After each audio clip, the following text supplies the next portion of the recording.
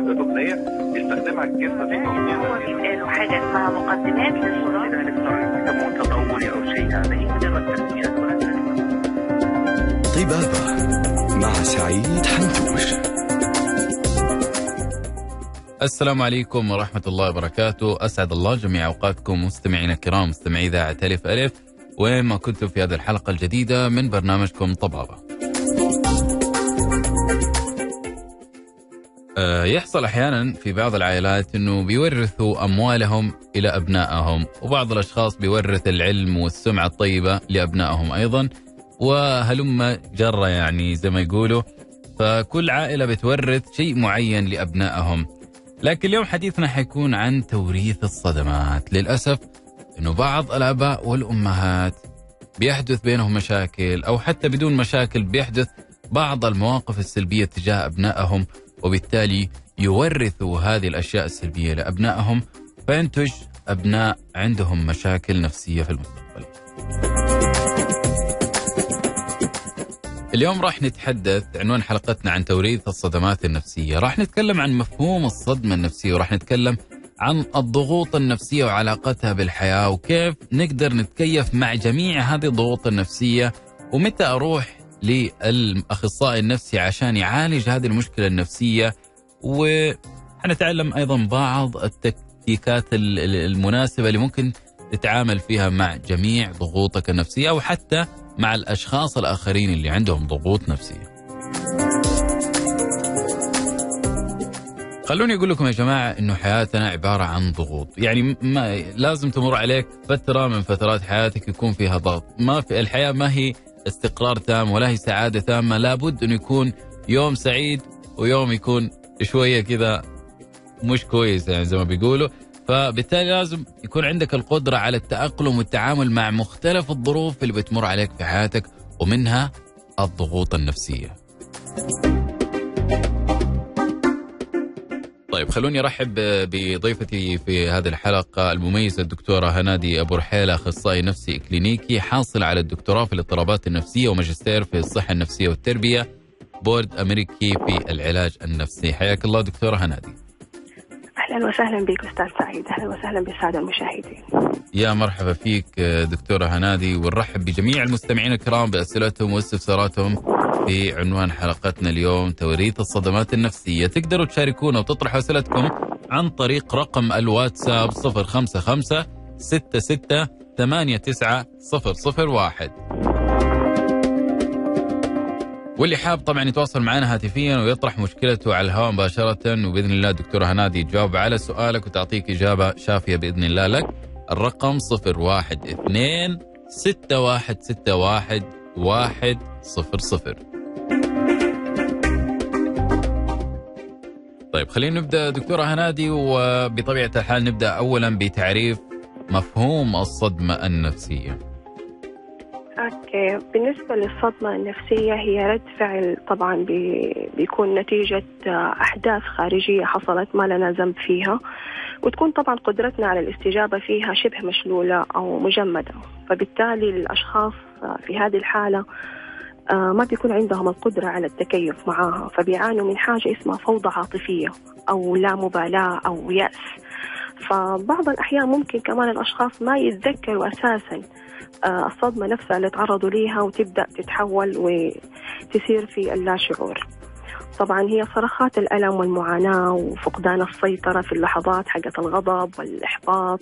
في ظل هذه الظروف كلها هذه الظروف كلها تبين إنه الإنسان تعرض لصدمة معينة فغالبا استجابة الناس لهذه الصدمات النفسية بتكون مختلفة طبعا بناء على اختلاف شخصياتهم فزي ما قلنا بيحصل نوع من أنواع الفوضى العاطفية آه بالتالي ما ما يستطيع الشخص إنه يتكيف معها بشكل سليم هذه هي الصدمة بشكل مختصر يعني نعم. طيب خلينا نتكلم الآن عن آه، الضغوط النفسية اللي بتحصل في الحياة. آه، ذكرت في بداية الحلقة في المقدمة إنه الإنسان بتمر عليه في حياته ضغوط نفسية فلا بد إنه يتعامل معها بطريقة أو بطريقة أخرى. لكن آه، خلينا نعرف أول حاجة مفهوم الضغط النفسي آه، طبعا إحنا تكلمنا قبل شوي عن الصدمة النفسية لا حنتكلم عن مفهوم الضغط النفسي ونتكلم عن علاقتها بالحياة. إن شاء الله بالنسبة للضغط النفسي هو رد أول شيء لازم الناس تعرف إنه الضغط النفسي أنواع يعني كل إنسان فجأة كده صار هو صار مصطلح دارج بين الناس أنا مضغوط نفسيا؟ وما هم قادرين يفرقوا بين أنواع الضغط النفسي. الإنسان بيتعرض في حياته لضغوط نفسية مرة كثيرة. الضغط النفسي عندنا أنواع.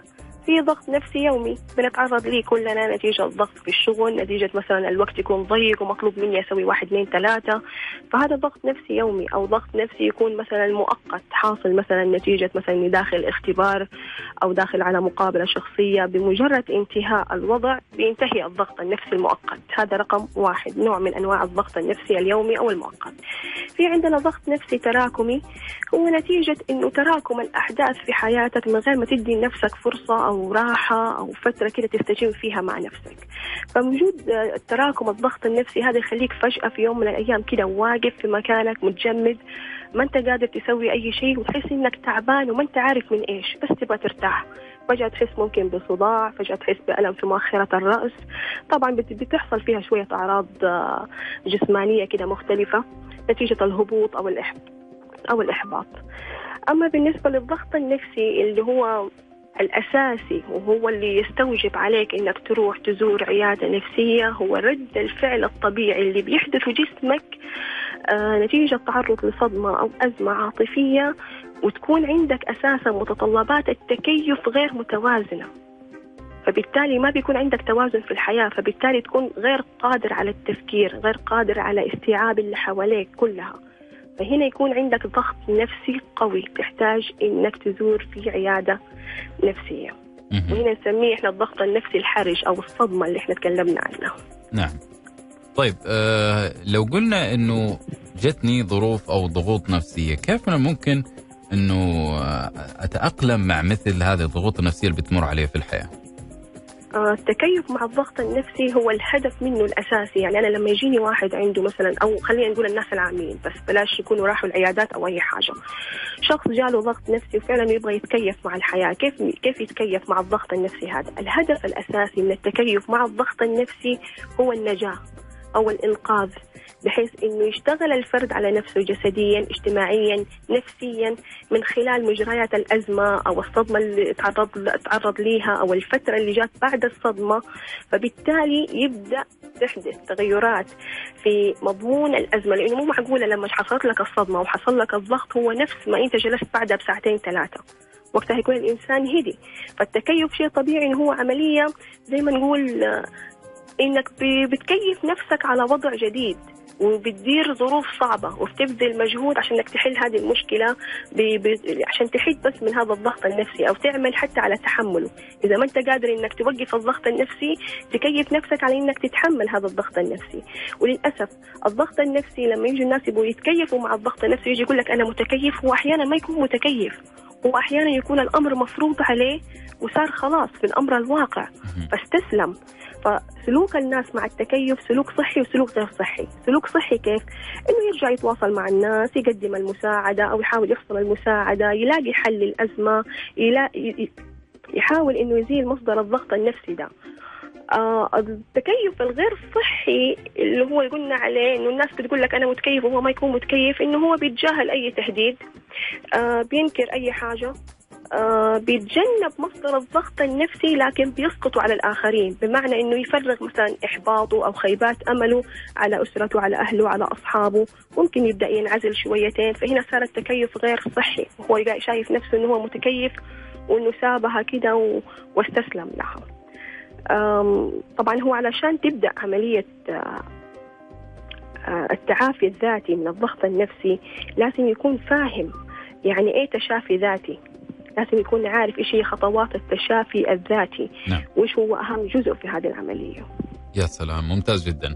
طيب آه، إحنا عندنا فاصل. قبل الفاصل نذكر من جديد بأرقام التواصل لطرح آه، آه، أسئلتكم واستفساراتكم على الدكتورة هنادي أبو رحيله ضيفتنا اليوم الأخصائية النفسية الحاصلة على دكتوراه في الاضطرابات النفسية والماجستير في الصحة النفسية والتربية الخاصة. آه، طيب خلوني أذكر من جديد بأرقام التواصل رقم الواتساب 055 66 89 001 أيضا آه، رقم الاتصال الثاني أو رقم الاتصال المباشر 012 6161 100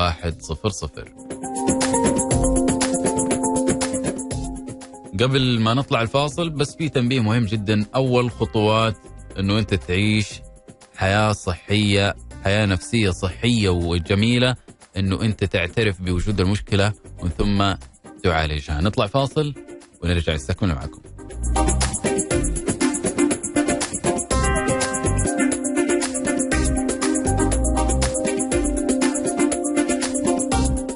يا أهلا وسهلا فيكم رجعنا لكم جديد ومستكملين معاكم برنامجكم طبابة.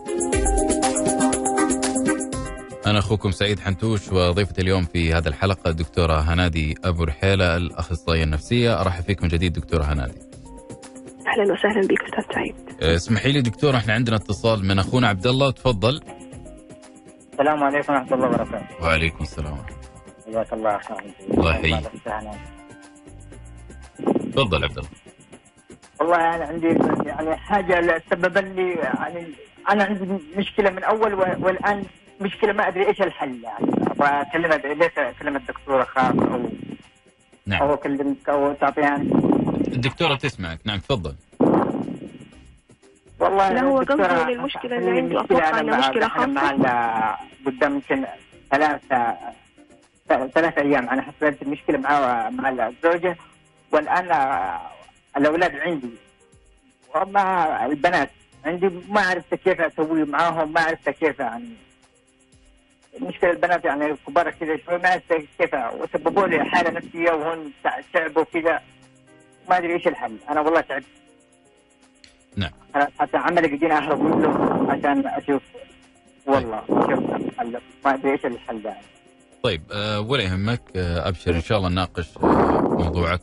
طبعا الأخ عبد الله ممكن مشكلة من ضمن يعني خلينا نقول مشاكل بتتكرر كثيرا في مجتمعاتنا للأسف خاصة في مجتمعنا في السعودية.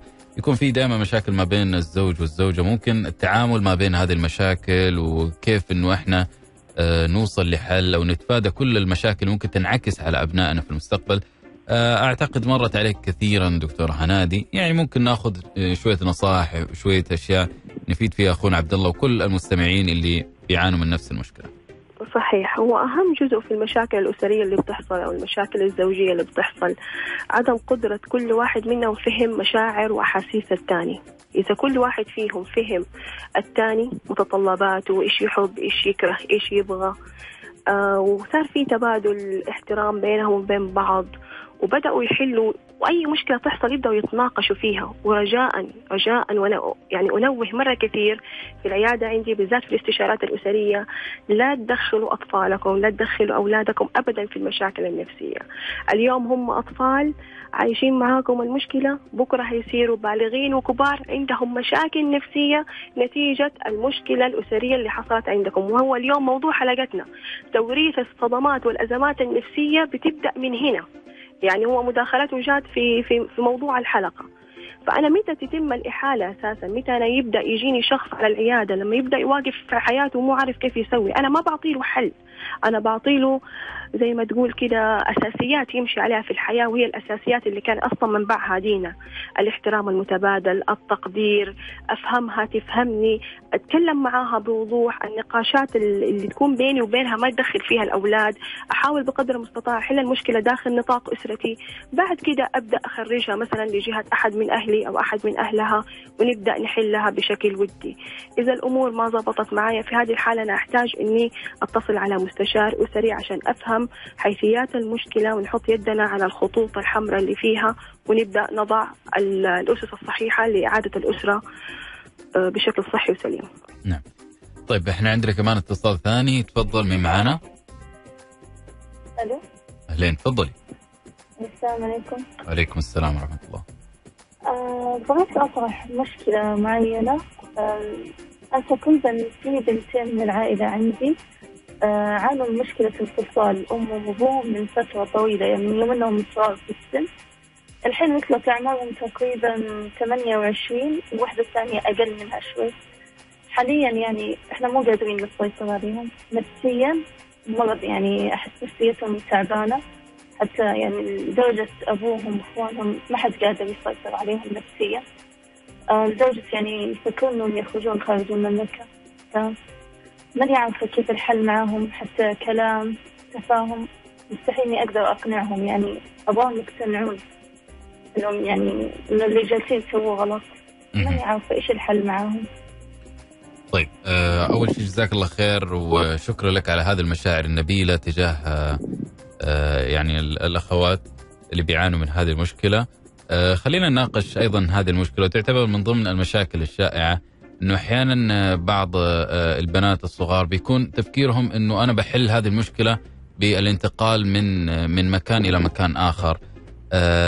يعني هذه نقطة كمان انتشرت مؤخرا وما نقدر يعني يعني زي ما نقول نغطي عليها الستار. لا هي موجودة المشكلة ولا بد إنه إحنا نتكلم عنها.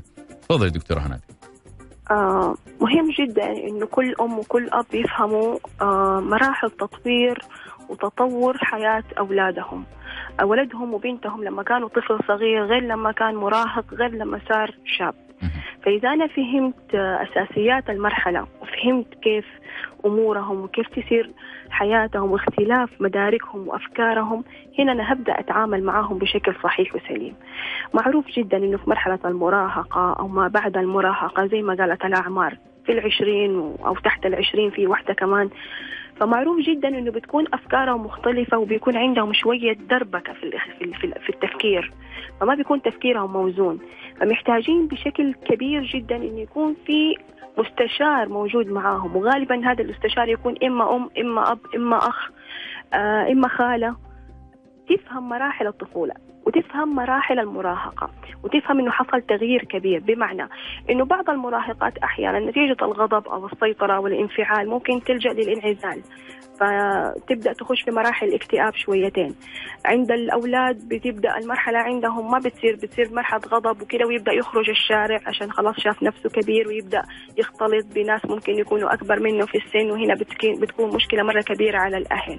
هنا اذا كل أم وأب فهموا تغييرات المراحل التطوريه في البناء الجسمي لل- للأطفال هنا هيبدأوا يحلوا كل مشاكلهم ما راح يكون عندهم أي مشاكل بالعكس هيتكيفوا معاها بشكل مرة سليم. عشان كذا في البداية أنا قبل لا أبدأ أصلح في حياة المراهق وأبدأ أقول هو يبغى له واحد اثنين ثلاثة أنا أبدأ أصلح فيك أنت نفسك. أبدأ اكيفك كيف تتعامل مع المراهق؟ لأنه أنت خلاص صرت كبير فكل تعاملاتك مع الأشخاص إما طفل لأنه عارف إنه طفل إما شخص كبير بالغ فأنت عارف إنه هذا عارف الصح والخطأ. أنت لازم تتكيف ولازم تتعلم الأسس النفسية اللي تقدر تتعامل بيها مع المراهق. وبعد كده أبدأ أديك أنا واحد اثنين ثلاثة المراهق هذا يحتاج كده كده كده. فتبدأ تقنعه بطريقة تتناسب مع تفكيره وتغيير أفكاره. نعم. طيب آه، بصراحة وصلني رسالة في الواتس وهي يعني نقول موضوع نقاش لكن أنا حخليها إن شاء الله إلين بعد ال- الفاصل. خلينا الآن نستكمل بعض المحاور وبعدين إن شاء الله نرجع لرسالة أخونا كريم اللي أرسل هذه الرسالة. حنجاوب إن شاء الله على سؤالك واستفسارك وعلى مشكلتك آه ننتقل الآن إلى المحاور محاور حلقتنا ويمكن آه، وصلنا إحنا عند موضوع التكيف وتحدثنا عنه نبغى الآن نتكلم عن إنه متى أتوجه إلى الأخصائي النفسي؟ متى أقول إنه هذه المشكلة تستدعي إنه أنا أروح عند شخص متخصص في العلاج النفسي عشان يساعدني في حلها؟ لازم نعرف حاجة مرة مهمة إنه أكثر الناس اللي بيزوروا العيادات النفسية هم أساسا ناس أساسا أحتاجوا إنه أحد يسمعهم أو فقدوا أشخاص تصدق آه، مشاعرهم أو ما لقيوا أحد حتى يفهم معاناتهم أو يحس بآلامهم. تمام؟ فأنا متى تتم إحالة الأشخاص هذول؟ أو متى يتم أنا إحالتي؟ أنا كشخص كده متى أنا أبدأ أبدأ أروح العيادة آه، النفسية؟ إذا حسيت إن أنا عندي مشاكل مرة كبيرة في النوم ماني قادر أنام. عندي أرق آه، دائم أو إني أنام فترات مرة طويلة إيه، وأحس إني أصحى من النوم أحس نفسي ما شبعت نوم أو إنه يكون نومي مرة قليل. آه، ممكن إن أفضل صاحي فترات مرة طويلة طويلة طويلة وممكن أنام غفوة وفجأة ألاقي نفسي صحيت آه، بوقت مرة مبكر جدا وما لحقت أنام أو أخذ كفايتي من النوم لأنه عندي التزامات أخرى. إذا متى يجيني العيادة؟ إذا شاف إنه عواطفه صارت مرة قوية وصار صعب إنه يتعامل مع الأشخاص زي مثلا يصير صار عندي شوية غضب صار عندي شوية عدوان ممكن لو صار عندي شوية خوف ممكن لو بدأت أقلق من أبسط الحاجات اللي ما كنت أقلق منها سابقا. آه ممكن إذا بدأت أحس إنه الدنيا دي صارت سودة في حياتي وبدأت أفكر في إني أبغى أنهي حياتي أو بدأت تجيني أفكار في الانتحار. أو أتحدث بصراحة عن إنه أنا أبغى أموت أو أبغى أموت نفسي.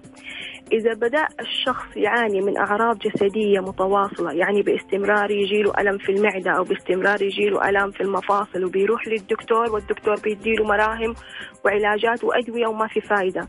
هنا بنسميها أمراض سيكوماتية اللي بتكون إيش؟ نفسية المنشأ وأعراضها جسدية. فهذا معناه إنه في عندي مشكلة نفسية محتاجة الحل. ومجرد ما تتحل المشكلة النفسية هتزول هذه الأعراض آه، الجسدية.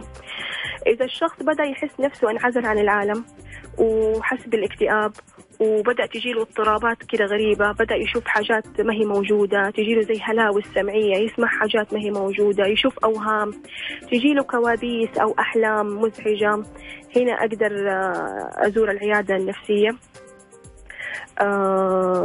يعني إذا حس بأي تغيير في مشاعره إذا حس إنه في حاجة غلط في حياته إذا حس إنه آه، آه، حياته كلها حاسة إنها اتلخبطت نتيجة حاجة ومو عارف إيش سببها. آه، غالبا الأسباب دي بتكون نتيجة لأشياء موجودة في اللاشعور فإذا راح للعيادة النفسية طبعا الأخصائي النفسي هيبدأ آه، يتواصل معاه عن طريق إخراج ما في اللاشعور من كلاكية وعقد نفسية ونبدأ نوصل للمشكلة الأساسية ونحلها اللي موجودة في الشعور. نعم.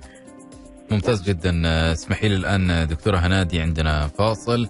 قبل الفاصل أذكر بأرقام التواصل رقم الواتساب 055 66 89 001 أيضا رقم ال- الهاتف المباشر 012 61 61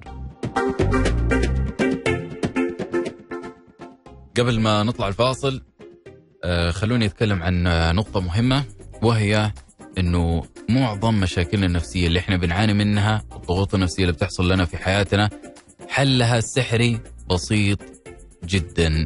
اللي بيعرف هذا الحل هو الأخصائي النفسي. فلما أنت تتعامل مع حالتك النفسية والضغط النفسي اللي بيواجهك بطريقة معقدة وبتعتقد أنه حلها حيكون بطريقة صعبة جدا آه، بسبب تعاملك هو اللي حيطور هذه المشكلة ويجعلها من سيء لأسوأ.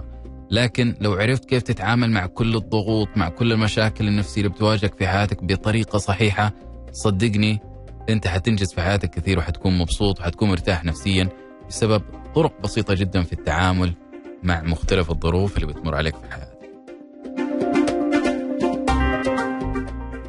خلونا نطلع فاصلنا ونرجع نستكمل معاكم. خلوكم على إذاعة ألف ألف. الإذاعة السعودية الأولى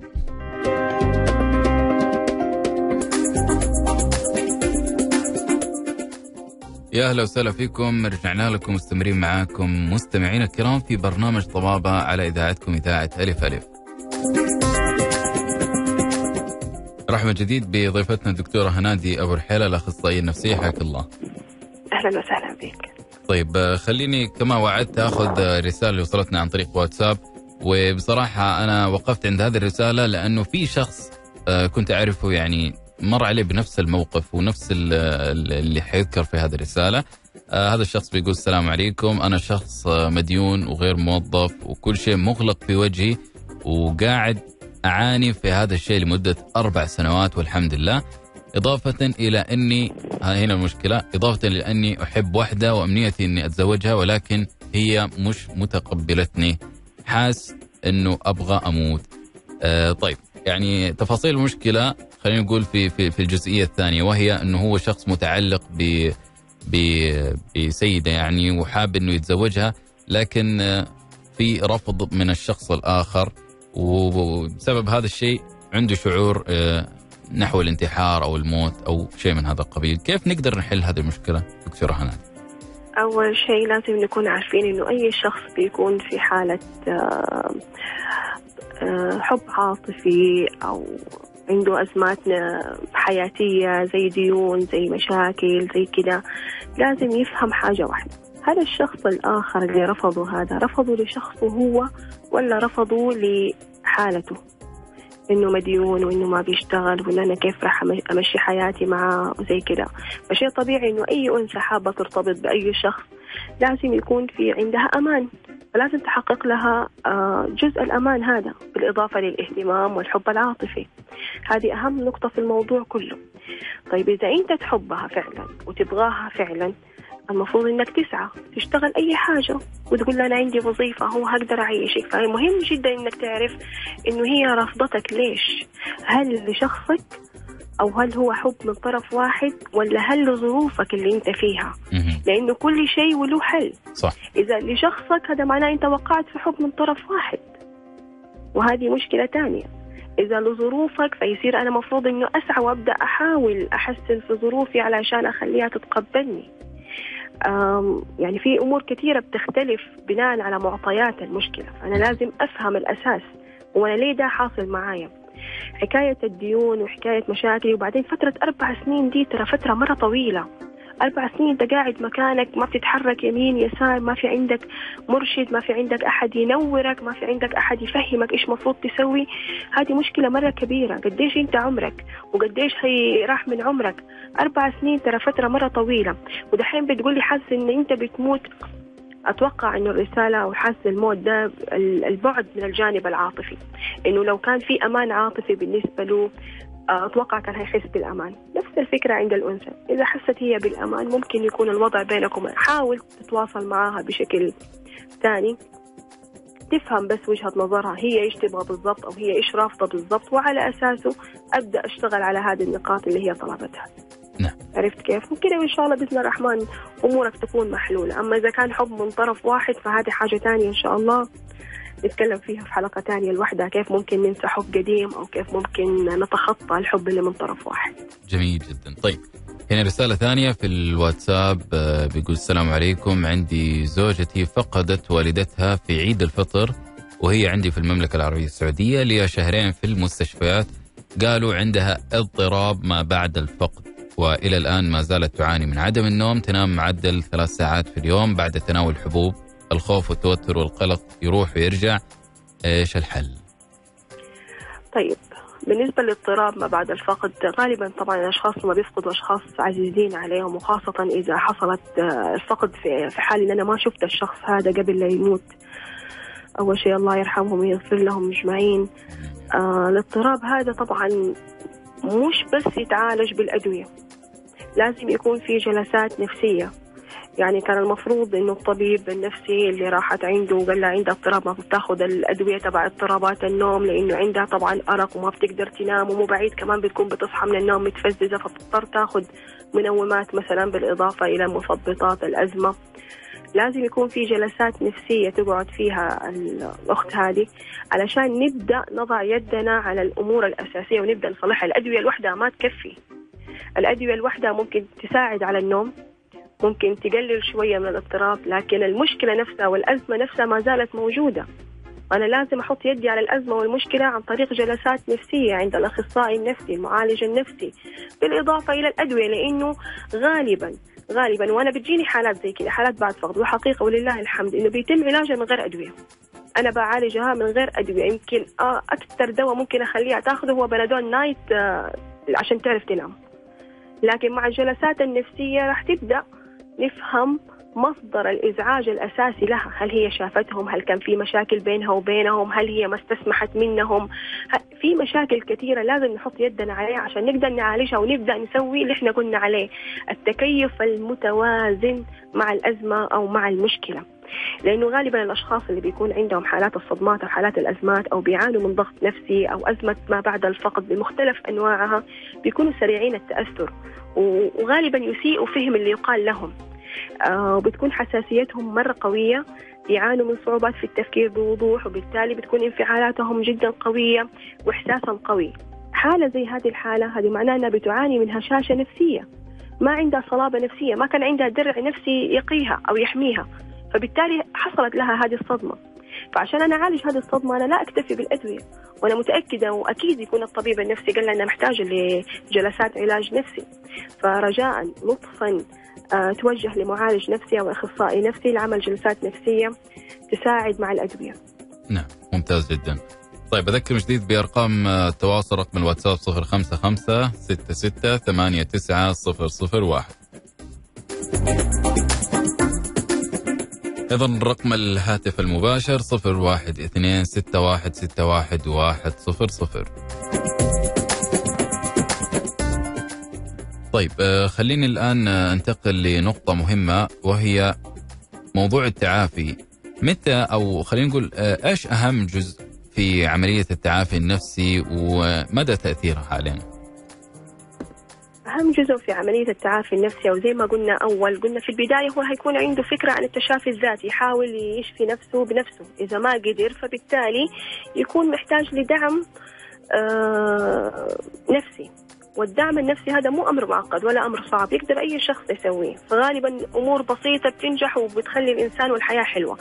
أنا أستغرب من الناس إنه لما بتحصل أزمة أو صدمة أو مشكلة ويبدأ الشخص عيونه تدمع ويبدا يبغى يبكي الشخص الآخر يوقف ويقول له لا تبكي أنت قوي خليك لا تبكي. ترى هذه أول خطوات الوصول إلى الأمراض النفسية والأزمات النفسية. مهم. فلطفا إذا حصلت مشكلة أو أزمة والشخص اللي قدامك حب يبكي حب يصرخ حب يفرغ غضبه في تكسير أشياء أتركه. لأنه لو ما سوى الشيء دحين في هذا الوقت هيبدأ يعاني من أزمة وصدمة نفسية قوية جدا ما يقدر يعالجها إلا بزيارات متكررة للعيادات النفسية. فهذا أبسط دعم نقدر نسويه له نحن نخليه يبكي. خليه يبكي. ممكن يكون محتاج إنه يسوي اتصال تليفوني لشخص معين يستسمح منه أو يصرخ منه أو يعاتبه أو يلومه. خليه لا تمنعه. خلي الشخص يعبر عن مشاعره وعن عواطفه ابدا لا تمنعه. بالذات في وقت حدوث قبل لا ينام قبل لا يحدث له أول حلم أو أول كابوس. إذا حصلت صدمة وأزمة نفسية والشخص حب يفرغ عن نفسه هذا أهم جزء في عملية التعافي. إنه أبدأ أفرغ الطاقة هذه.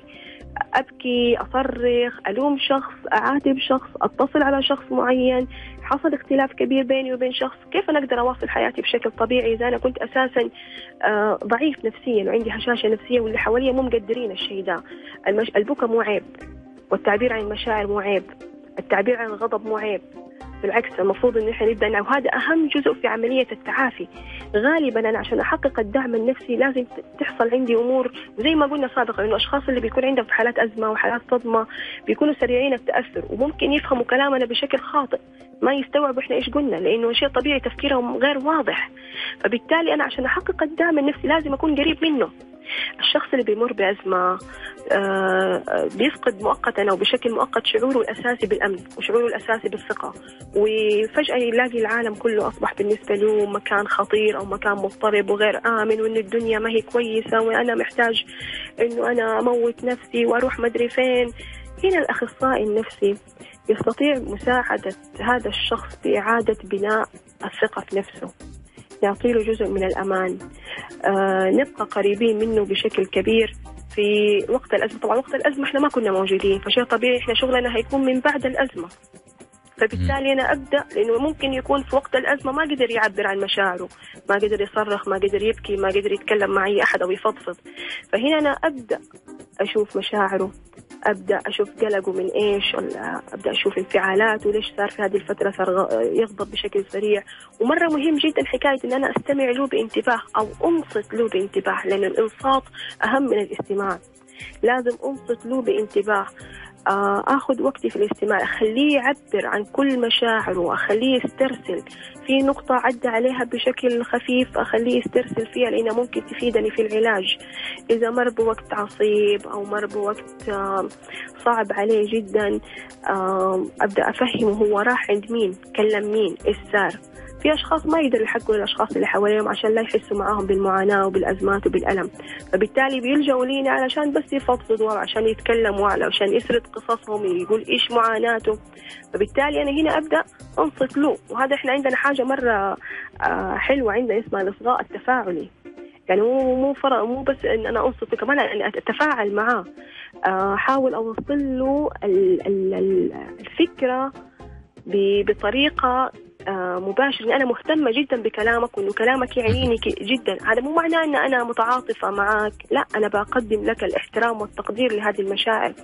لأنه في مشاعر أحيانا يجينا أشخاص مثلا يكون عنده مشكلة والمشكلة تكون تافهة عند بعض الناس لكن هي كبيرة بالنسبة له. صحيح. يعني أنا في مرة من المرات جاتني في العيادة واحدة كانت منهارة تماما لفقدان قطتها الأليفة. مهم. فممكن ناس كثير تشوف إن هذا الشيء عادي صحيح. لكن هي شايفته شيء كبير فبالتالي أنا لازم يكون في عندي آه، إصغاء تفاعلي وأهتم جدا بالمشكلة لأنها مهمة بالنسبة فعلا. للشخص طيب آه، اسمحي لي دكتورة هنادي إحنا عندنا فاصل فاصلنا الأخير راجعين بعد هذا الفاصل وناخذ ما تبقى من أسئلتكم إن شاء الله والإجابة عليها فاصل قصير راجعين خليكم معنا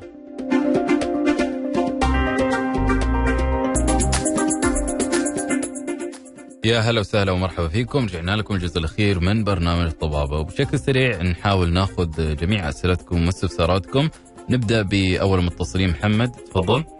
السلام عليكم. وعليكم السلام. النور يا مساء. الخير عليك وعلى الدكتورة الله يحييك. تفضل. آه، الله يعافيك. أنا عندي آه، بوقت يعني الوقت الحالي الآن في ظل كورونا. زين. آه، في أشياء وفي أوقات فراغات كثيرة يعني موجودة عند الناس كلهم. أنا حبيت أن الدكتورة تعطينا توجيه بسيط أو آه، لمحة بسيطة آه، بحكم أنها أخصائية نفسية. وما شاء الله يعني أنا سمعت الحلقة من البداية وقاعد أسمع يعني شيء نفتخر فيه ويثلج القلب أنه نحصل ي- موجود في ال- السعودية عندنا هنا أوكي؟ أخصائية بالاطلاع بالكلام اللي سمعناه كله آه، في الفقرة اللي قبل. نعم. فهذا شيء جميل. آه، في أشياء يواجهونها الأخصائيين النفسيين ما راح أتطرق لها الآن. لكن أبغى توجيه في وقت كورونا. إيش الأشياء اللي تحمينا من آه، الاكتئاب أو من أي أعراض آه، ممكن تأثر علينا في الوقت الحالي؟ ممتاز. شكرا لك أخوي محمد. يعطيك العافية. طيب دكتورة بشكل سريع إذا ممكن جاوب على أخونا محمد وعشان نأخذ كمان الأسئلة المتبقية. طبعا أوكي. عشان كورونا طبعا وأوقات الفراغ وعشان أول شيء ندور عن مواهبنا. إذا ما عندنا مواهب نخترع لنا مواهب. اللي ما يعرف يرسم يحاول يرسم. اللي ما يعرف يطبخ يحاول يطبخ. سوي لك أي شغلة بس لا تجرب نفسك المشاكل. لأنه يعني في أزواج كثيرة كانوا بيتدخلوا في شغل زوجاتهم وحصلت مشاكل مرة كثيرة في البيوت بسبب إنه شيء ما يخصه وتعدى على مملكة زوجته في بيتها وهذا ليش هنا وهذا ليش هنا فبدأت تحصل المشاكل. عشان نتجنب الاكتئاب لازم أنا أتقبل. أول شيء أتقبل ذاتي أتقبل مشاعري أتقبل كل ما هو كائن كل ما هو موجود حواليا بهذا الشكل أتقبله وأبدأ أتكيف معاه أي شخص أبدأ أحاول إني أراجع حساباتي القديمة أسامح نفسي أسامح الماضي اللي أنا عشت فيه أسامح الآخرين أتصالح مع نفسي آه، أتوقف عن مقاومة آه، أي مشاعر سلبية بتجيني. أبدأ أعيش حياتي ب- بذاتية وأبدأ أرفع من روحانياتي أبدأ أتأمل أبدأ أقرأ كتب أبدأ أخترع لنفسي أي هواية عشان لا أخش في مرحلة اكتئاب أو توتر هنا في سؤال وصلني في في الواتساب آه بيقول عندي ولدي عمره سبع سنوات ولا زال إلى الآن آه يتبول أثناء النوم في ملابسه وعنده آه الخوف أحيانا وما يتحكم بنفسه فإيش الحل؟ هل آه لهذا الموضوع علاقة نفسية؟ آه، طبعا التبول. هل هو تبول لا إرادي ولا هو ما تدرب أساسا على دخول الحمام؟ هنا مرة مهم لأنه في أشياء مرة مهمة. ممكن يكون اتدرب على دخول الحمام في الأول وبعد كده بعد ما تدرب فترة صار يتبول لا إرادي في الفراش. هذا سؤال مرة مهم. ولا هو إلى الآن من يوم ما بدأتوا تدربوه إلى الآن ما صار يتدرب. أو ما صار يروح الحمام بنفسه. عموما هي غالبا إذا كان تبول لا إرادي هي أكيد لها مشكلة نفسية عميقة موجودة في اللاشعور خاصة إذا هو قال لي بيشعر بخوف. أكيد في حاجة مخوفته. التبول اللا إرادي يكون نتيجة مشاكل نفسية.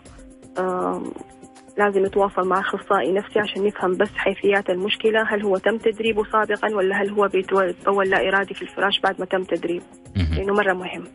طيب هنا في رسالة يعني تفاصيلها كثيرة لكن آه، آه، مختصرها إنه آه، يعني سيدة ذهبت لدكتورين تقريبا أخصائيين نفسيين فما وجدت عند ما وجدت عندهم العلاج ويبدو إنه صار في عدم ثقة في الأطباء النفسيين فإيش رأيك دكتورة وكيف نقدر يعني نعالج هذه المشكلة؟ حسب هي راحت لطبيب نفسي ولا أخصائي نفسي. ده رقم واحد. وحسب. نوع المشكلة. ده رقم اثنين. آه رقم ثلاثة ممكن يكون الطبيب النفسي أعطاها أدوية وطلب منها تسوي جلسات نفسية وما سوت الجلسات النفسية. وممكن هي أساسا ما تحتاج طبيب نفسي تحتاج معالج نفسي أو أخصائي نفسي يعمل لها جلسات من غير أي أدوية. حسب نوعية المشكلة. يمكن طرقت الباب الخطأ. فإذا كانت مشكلتها ممكن ما تحتاج أدوية نفسية. تطرق باب الأخصائي النفسي والمعالج النفسي. أما إذا مشكلتها تحتاج مثلا زي أمراض نفسية عميقة زي الفصام أو الهستيريا وكذا تحتاج إلى أدوية نفسية. تطرق باب الطبيب النفسي بالإضافة إلى جلسات نفسية. دائما العلاج النفسي عند الطبيب النفسي بعد صرف الأدوية يحتاج دائما إلى دعم نفسي من أخصائي نفسي ومعالج نفسي. الجلسات النفسية أهم بكثير من الأدوية النفسية. نعم. آه، أخيرا آه، بما أنه خلاص وصلنا لنهاية الحلقة ودي نختم بعنوان حلقتنا آه، المحور المتعلق بعنوان حلقتنا اللي هو آه، توريث العقد النفسية عبر الأجيال آه، هل للأم للأم والأب دور كبير في توريث مثل هذه الصدمات لأبنائهم؟ طبعا للأسف الشديد ما في أزمة أو صدمة نفسية بتحصل للإنسان إلا يكون أساسها ومنشأها من البيت من الأسرة الحاضنة الأولى زي ما إحنا كلنا عارفين إنه أول سنين الطفل من سن من من من لحظة ولادته إلى سبع سنوات هي أهم لحظة في تكوين شخصية الطفل وأهم لحظة في تعليم الطفل للسلوكيات المكتسبة. فإذا الطفل أو الشخص آه، نشأ في أسرة ملي- مليانة مشاكل مليانة اضطرابات أحيانا أنا ما أتكلم طبعا على الأمراض النفسية المورثة لا أتكلم على اضطرابات نفسية وأزمات نفسية. إذا تعرض لها هذا الشخص في صغره فشيء طبيعي لما يكبر هيكون يعاني بكثير من عقد نفسية. في عندنا حاجة اسمها الولاء الخفي بتحدث عند الأشخاص خاصة إذا كانوا موجودين في أسرة نفترض إنه الأب كان باستمرار يضرب أمه باستمرار قدام عينه. فهذا الشخص لما يكبر آه، مستقبلا هيبدأ هو كمان يضرب زوجته. هذا في حالة الرجل. في حالة المرأة ما راح تحس بحياتها أو إنه حياتها لازم تكتمل عشان يكون عندها شوية ولاء خفي لأمها إنه هي كمان لازم زوجها يضربها. أحيانا تفتعل المشاكل عشان تخلي زوجها يضربها علشان تكون مراية لوالدتها. يعني باختصار أنا كل اللي أبغى أقوله إنه كل واحد فينا عنده مناعة نفسية وكلنا ما بنتساوى فيها. يعني مو كلنا عندنا نفس الدرجة للتحمل ونفس القدرة على التكيف لكن الأكيد اللي لازم نعرفه كلنا إنه أي أحد بيقول لك أنا تعبان أو أنا بعاني أو أنا بنهار هو فعلا بيكون تعبان وبيكون بيعاني وبيكون بينهار. الفكرة في الموضوع إنه حصانتنا النفسية غير متساوية.